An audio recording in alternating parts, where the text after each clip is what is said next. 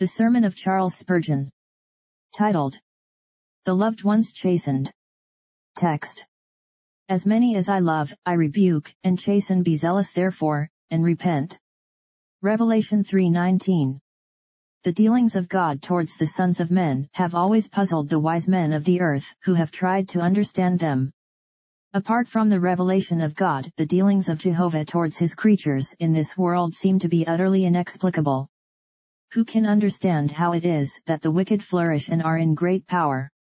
The ungodly man flourishes like a green bay tree, behold, he stretcheth out his roots by the river, he knoweth not the year of drought, his leaf withereth not, and his fruit doth not fall in an untimely season.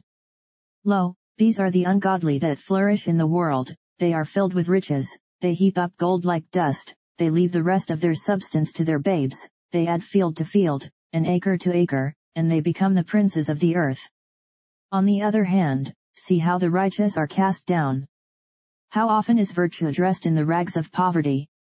How frequently is the most pious spirit made to suffer from hunger, and thirst, and nakedness? We have sometimes heard the Christian say, when he has contemplated these things, Surely, I have served God in vain, it is for nothing that I have chastened myself every morning and vexed my soul with fasting, for lo, God hath cast me down, and he lifteth up the sinner. How can this be? The sages of the heathen could not answer this question, and they therefore adopted the expedient of cutting the Gordian knot. We cannot tell how it is, they might have said, therefore they flew at the fact itself, and denied it. The man that prospers is favored of the gods, the man who is unsuccessful is obnoxious to the Most High. So said the heathen, and they knew no better.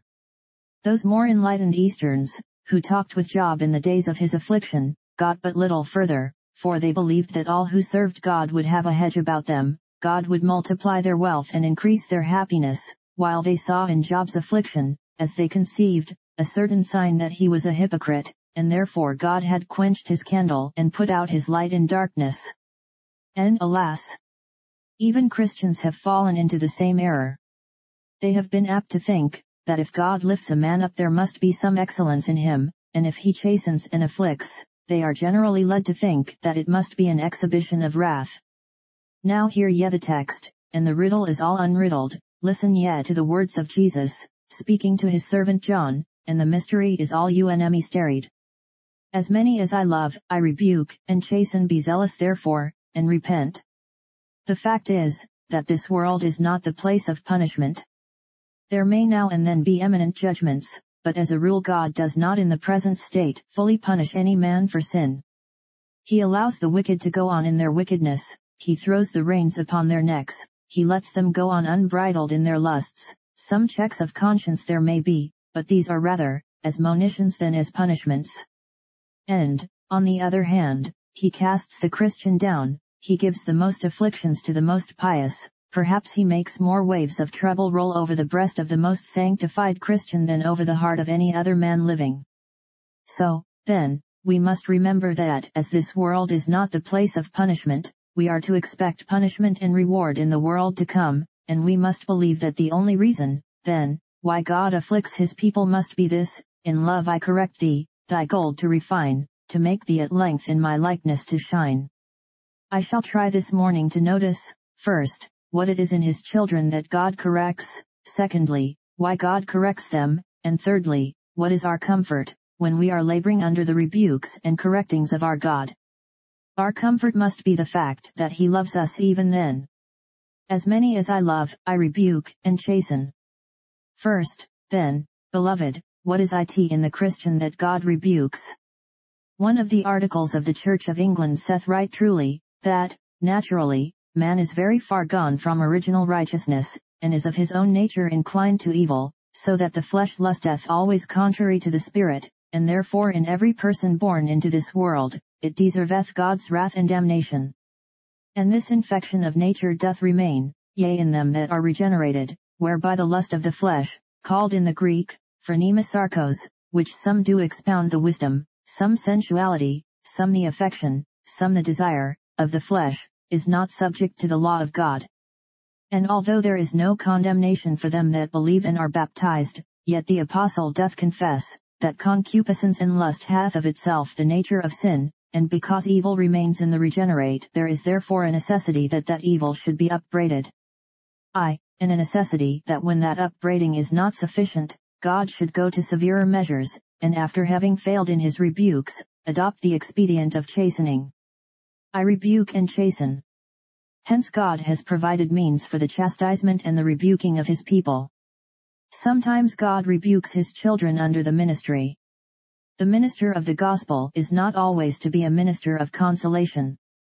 The same Spirit that is the Comforter is he who convinces the world of sin, of righteousness, and of judgment, and the same minister who is to be as the angel of God unto our souls, uttering sweet words that are full of honey, is to be at times the rod of God, the staff in the hand of the Almighty, with which to smite us on account of our transgressions.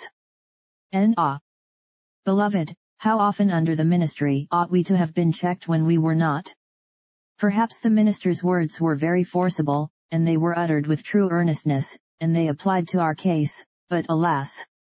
We shut our ear to them, and applied them to our brother instead of to ourselves. I have often marveled when I have been preaching. I have thought that I have described the cases of some of my most prominent members. I have marked in them diverse sins, and as Christ's faithful pastor, I have not shunned to picture their case in the pulpit, that they might receive a well-deserved rebuke, but I have marveled when I have spoken to them afterward, that they have thanked me for what I have said, because they thought it so applicable to such another brother in the church, whilst I had intended it wholly for them, and had, as I thought, so made the description accurate, and so brought it out in all its little points, that it must have been received by them. But alas! You know, my friends, that we sit under the sound of the word, and we seldom think how much it belongs to us, especially if we hold an office in the church. It is hard for a minister when he is hearing a brother minister preach, to think, it may be, he has a word of rebuke to me. If exalted to the office of elder or deacon, there groweth sometimes with that office a callousness to the word when spoken to himself, and the man in office is apt to think of the hundreds of inquirers unto whom that may be found applicable, and of the multitudes of the babes in grace to whom such a word comes in season. Ay, friends, if we did but listen more to the rebukes of God in the ministry, if we hearkened more to his word as he speaks to us every Sabbath day, we might be spared many corrections, for we are not corrected until we have despised rebukes, and after we have rejected those, then out comes the rod.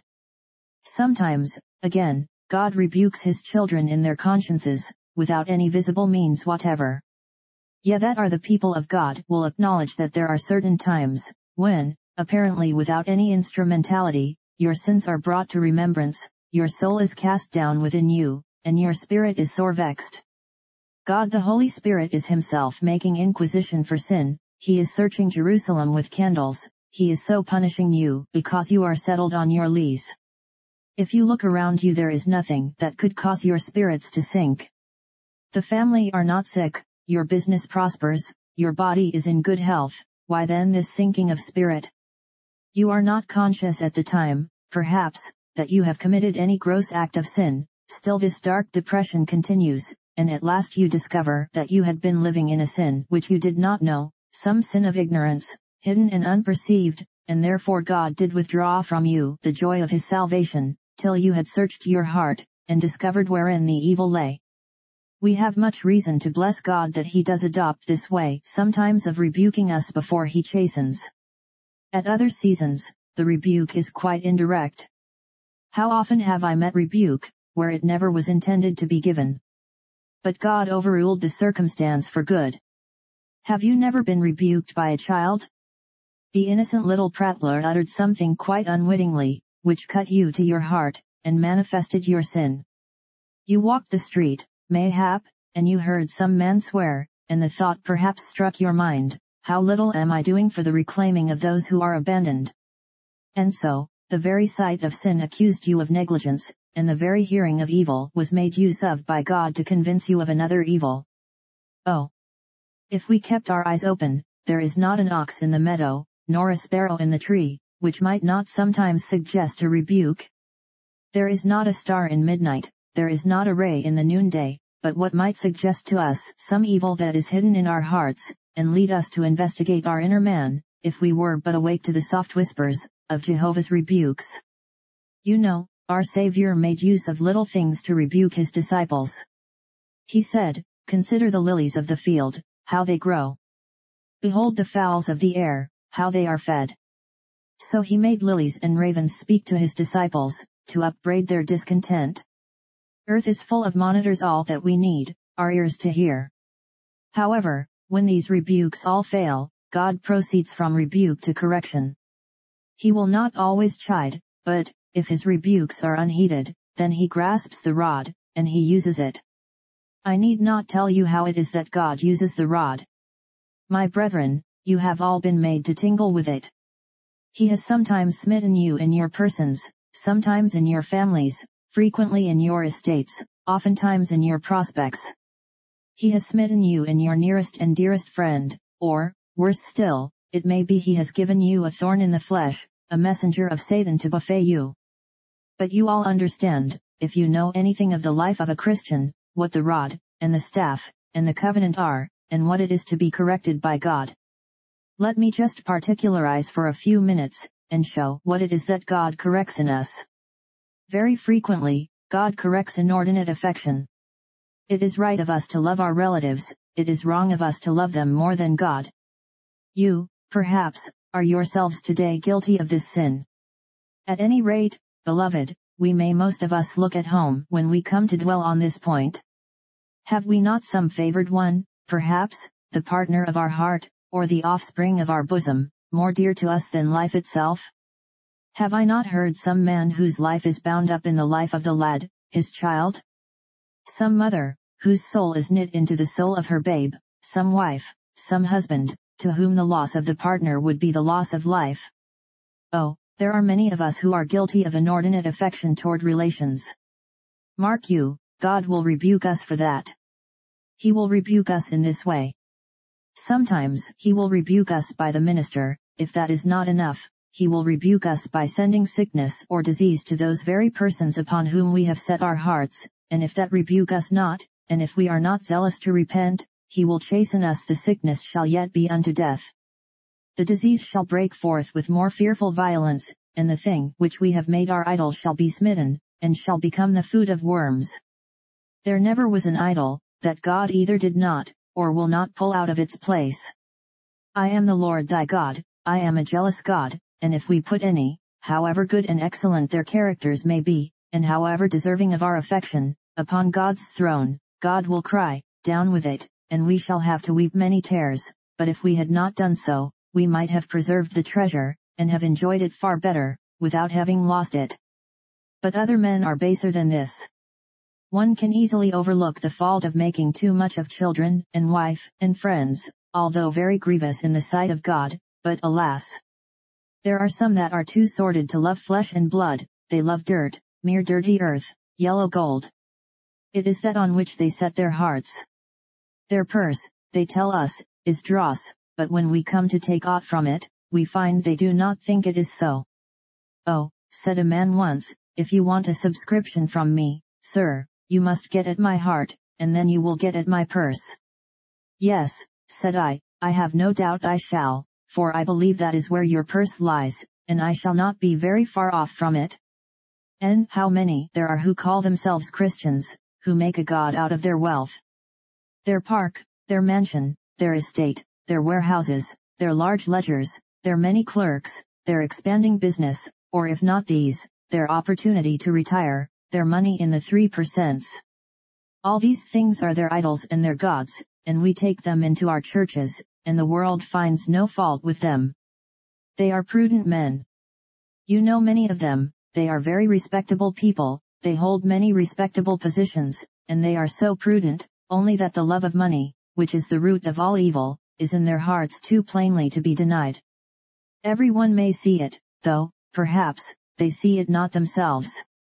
Covetousness, which is idolatry, reigns very much in the church of the living God. Well, mark you, God will chasten for that. Whosoever loveth mammon among God's people, shall first be rebuked for it, as he is rebuked by me this day, and if that rebuke be not taken, there shall be a chastisement given. It may be, that the gold shall melt like the snowflake before the sun, or if it be preserved, it shall be said, Your gold and silver are cankered, the moth shall eat up your garments, and destroy your glory. Or else, the Lord will bring leanness into their souls, and cause them to go down to their graves with few honors on their heads, and with little comfort in their hearts, because they loved their gold more than their God, and valued earthly riches more than the riches that are eternal. The Lord save us from that, or else he will surely correct us. But this is not the only sin, we are all subject to another crime which God abhors exceedingly. It is the sin of pride. If the Lord gives us a little comfort, we grow so big that we hardly know what to do with ourselves. Like Jeshurun of old, of whom it is said, Jeshurun waxed fat and kicked. Let us for a little time enjoy the full assurance of faith, self-conceit whispers, you will retain the savor of that all your days, and there is not quite a whisper, but something even fainter than that, you have no need to depend upon the influence of the Holy Spirit now. See what a great man you have grown. You have become one of the Lord's most valued people, you are a Samson, you may pull down the very gates of hell and fear not. You have no need to cry, Lord, have mercy upon me. Or at other times, it takes a different turn. He gives us temporal mercies, and then we presumptuously say, My mountain standeth firm, I shall never be moved. We meet with the poor saints, and we begin to hector over them, as if we were something, and they were nothing. We find some in trouble, we have no sympathy with them, we are bluff and blunt with them, as we talk with them about their troubles, yea, we are even savage and cruel with them. We meet with some who are in deep distress and faint-hearted, we begin to forget when we were faint-hearted too, and because they cannot run as fast as we can, we run far ahead, and turn back and look at them, call them sluggards, and say they are idle and lazy.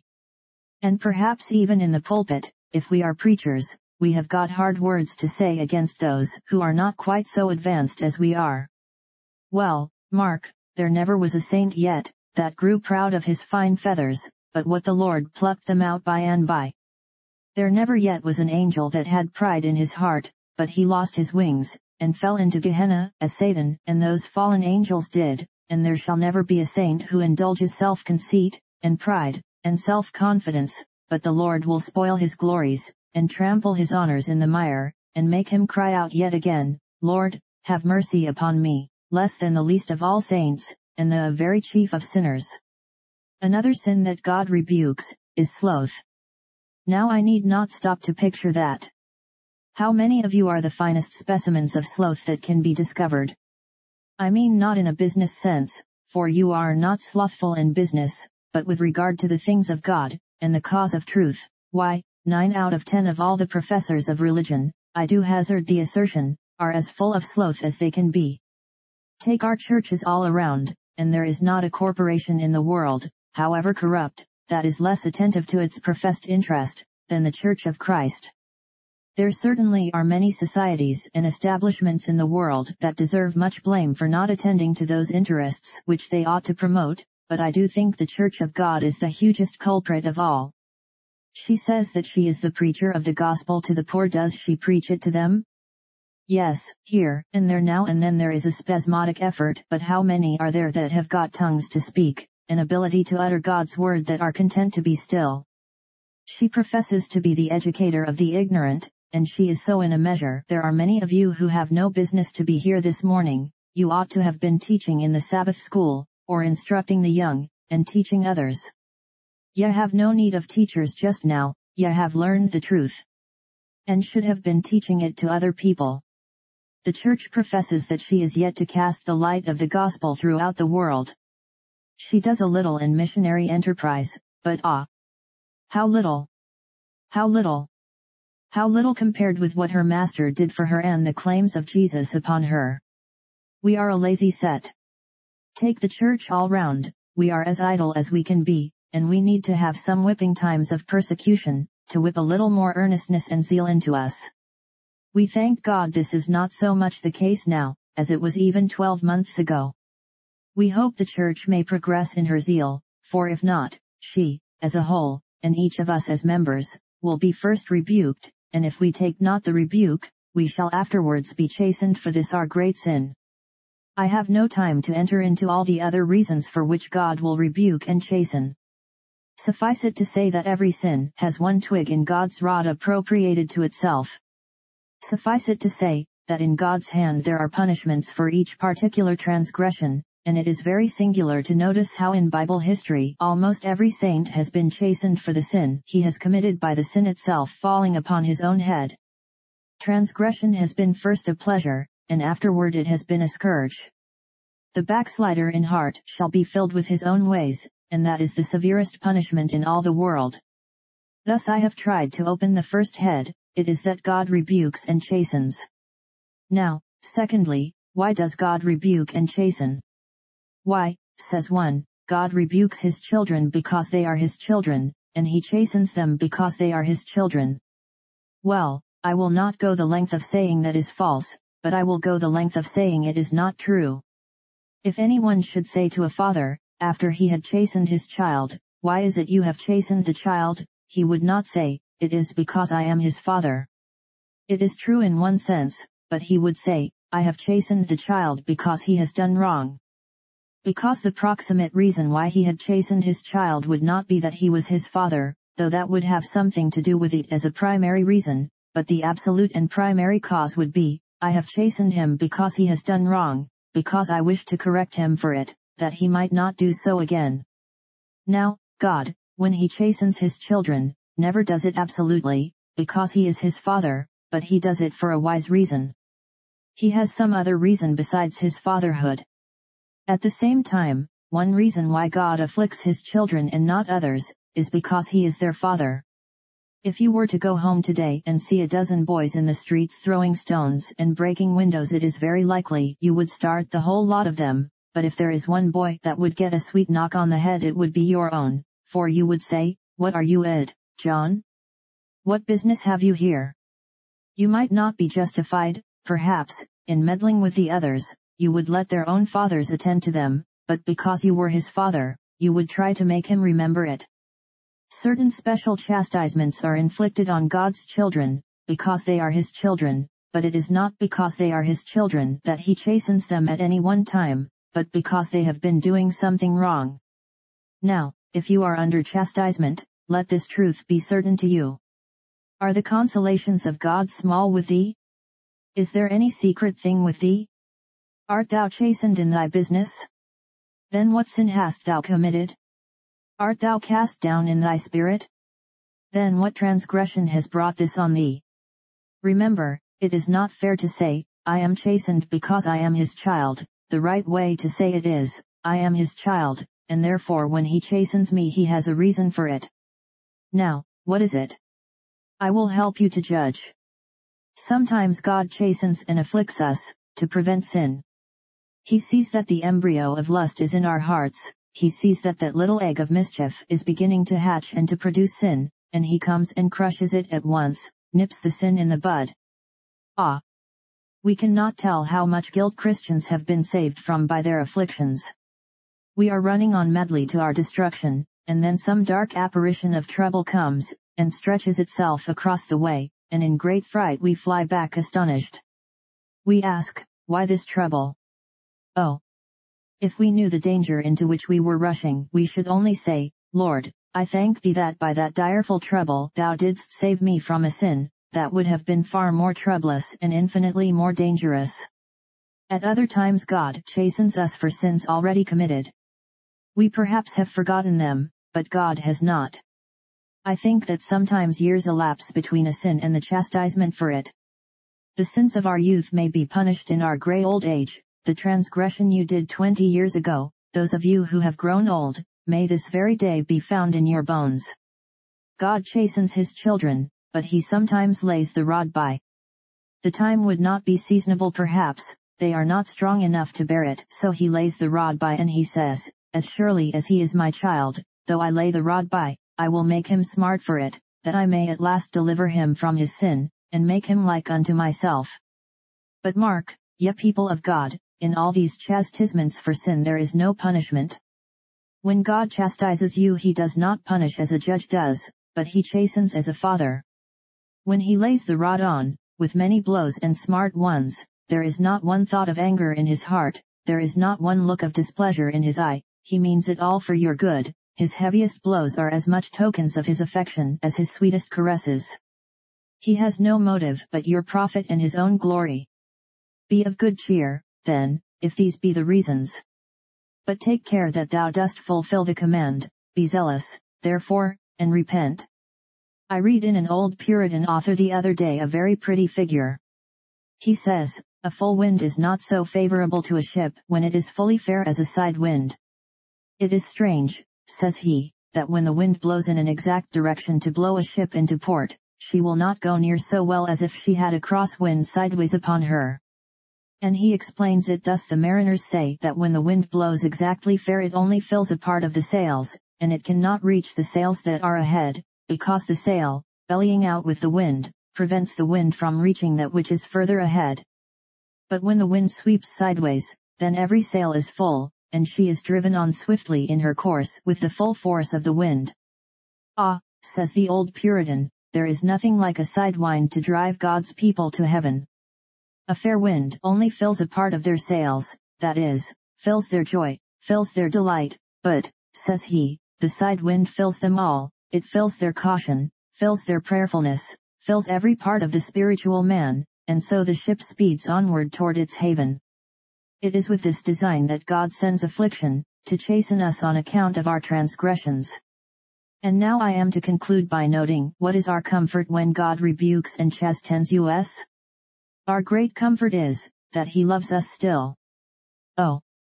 What a precious thing faith is, when we are enabled to believe our God, and how easy then it is to endure and to surmount all trouble. Hear the old man in the garret, with a crust of bread and a cup of cold water. Sickness has confined him these years within that narrow room. He is too poor to maintain an attendant. Some woman comes in to look to him in the morning and in the evening, and there he sits, in the depths of poverty. And you will suppose he sits and groans. No, brethren, he may sometimes groan when the body is weak, but usually he sits and sings, and when the visitor climbs the creaking staircase of that old house, where human beings scarcely ought to be allowed to live, and when he goes into that poor cramped up room that is more fit to accommodate swine than men, he sits down upon that bottomless chair, and when he has seated himself as well as he can upon the four cross pieces of it he begins to talk to him, and he finds him full of heaven. Oh! Sir, he says, my God is very kind to me. Propped up he is with pillows, and full of pain in every member of his body, but he says, Blessed be his name, he has not left me. Oh! Sir, I have enjoyed more peace and happiness in this room, out of which I have not gone for years, the case is real that I am now describing, I have enjoyed more happiness here than I ever did in all my life. My pains are great, sir, but they will not be for long, I am going home soon. Ay, were he more troubled still, had he such rich consolation poured into his heart, he might endure all with a smile and sing in the furnace. Now, child of God, thou art to do the same. Remember, all thou hast to suffer is sent in love. It is hard work for a child, when his father has been chastening it, to look at the rod as a picture of love. You can not make your children do that but when they grow up to be men and women, how thankful they are to you then. Oh father, says the son, I know now why it was I was so often chastened, I had a proud hot spirit, it would have been the ruin of me if thou hadst not whipped it out of me. Now, I thank thee, my father, for it. So, while we are here below we are nothing but little children, we cannot prize the rod when we come of age, and we go into our estates in paradise, we shall look back upon the rod of the covenant as being better than Aaron's rod, for it blossoms with mercy, we shall say to it, Thou art the most wondrous thing in all the list of my treasures. Lord, I thank thee that thou didst not leave me unafflicted, or else I had not been where I am, and what I am, a child of God in paradise. I have this week, says one, sustained so serious a loss in my business, that I am afraid I shall be utterly broken up. There is love in that. I came here this morning, says one, and I left a dead child in the house, dear to my heart. There is love in that. That coffin and that shroud will both be full of love, and when your child is taken away, it shall not be in anger. Ah, cries another, but I have been exceedingly sick, and even now I feel I ought not to have ventured out, I must return to my bed. Ah! He makes your bed in your affliction. There is love in every pain, in every twitch of the nerve, in every pang that shoots through the members, there is love. Ah, says one, it is not myself, but I have got a dear one that is sick. There is love there, too. Do what God may, he cannot do an unloving act toward his people. O Lord! Thou art omnipotent, thou canst do all things, but thou canst not lie, and thou canst not be unkind to thine elect. No, omnipotence may build a thousand worlds, and fill them with bounties, omnipotence may powder mountains into dust, and burn the sea, and consume the sky, but omnipotence cannot do an unloving thing toward a believer. Oh! Rest quite sure, Christian, a hard thing, an unloving thing from God toward one of his own people is quite impossible. He is kind to you when he casts you into prison as when he takes you into a palace, he is as good when he sends famine into your house as when he fills your barns with plenty. The only question is, art thou his child? If so, he hath rebuked thee in affection, and there is love in his chastisement. I have now done, but not until I have made my last appeal. I have now to turn from God's people to the rest of you. Ah! My hearers, there are some of you that have no God, you have no Christ on whom to cast your troubles. I see some of you today dressed in the habiliments of mourning, I suppose you have lost someone dear unto you. Oh! Yeah that are robed in black, is God your God? Or are you mourning now, without God to wipe every tear from your eye? I know that many of you are struggling now in your business with very sharp and hard times. Can you tell your troubles to Jesus, or have you to bear them all yourself, friendless and helpless? Many men have been driven mad, because they had no one to whom to communicate their sorrow, and how many others had been driven worse than mad, because when they told their sorrows their confidence was betrayed. O poor mourning spirit, if thou hadst, as thou mightest have done, gone, and told him all thy woes, he would not have laughed at thee, and he would never have told it out again. Oh I remember when once my young heart ached in boyhood, when I first loved the Savior. I was far away from father and mother, and all I loved, and I thought my soul would burst, for I was an usher in a school, in a place where I could meet with no sympathy or help.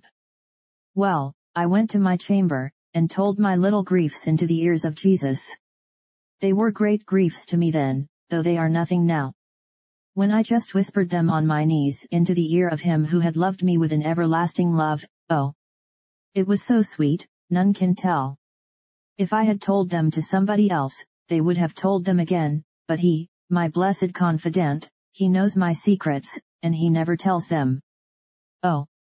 What can you do that have got no Jesus to tell your troubles to? And the worst of it is, you have got more troubles to come. Times may be hard now, but they will be harder one day, they will be harder when they come to an end. They say it is hard to live, but it is very hard to die. When one comes to die and has Jesus with him, even then dying is hard work, but to die without a savior.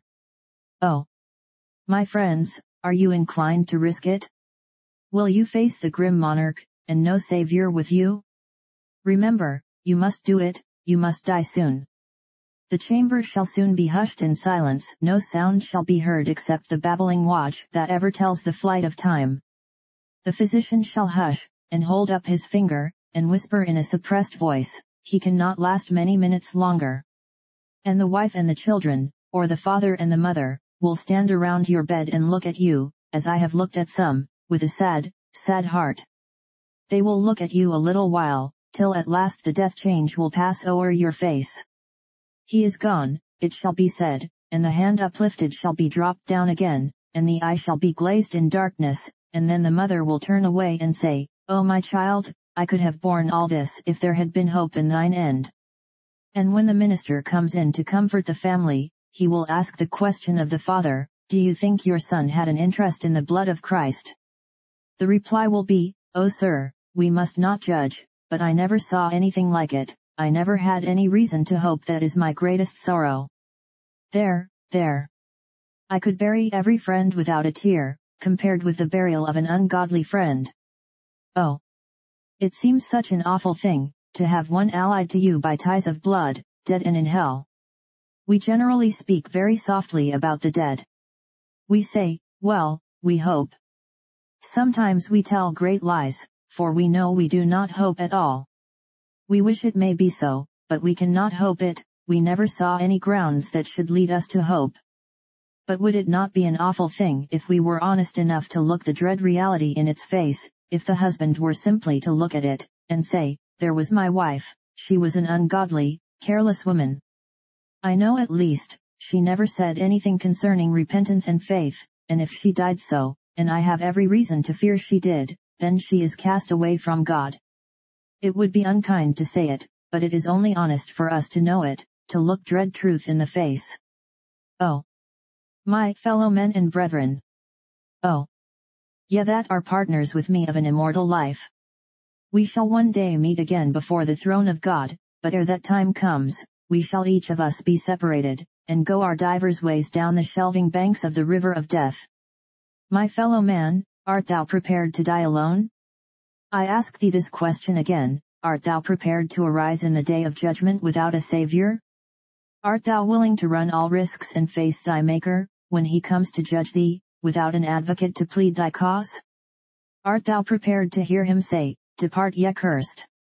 Are ye ready now to endure the everlasting ire of him who smites, and smiting once, doth smite forever? Oh! If ye will make your bed in hell, if you are prepared to be damned, if you are willing to be so, then live in sin and indulge in pleasures, you will get your wish. But if ye would not, if ye would enter heaven, and ye would be saved, turn thee, turn thee, why will ye die, O house of Israel? May God the Holy Spirit, enable you to repent of sin and to believe on Jesus, and then you shall have a portion among them that are sanctified but unrepenting and unbelieving, if ye die so, ye must be driven from his presence, never to have life, and joy, and liberty, as long as eternity shall last. The Lord prevent this, for Jesus' sake.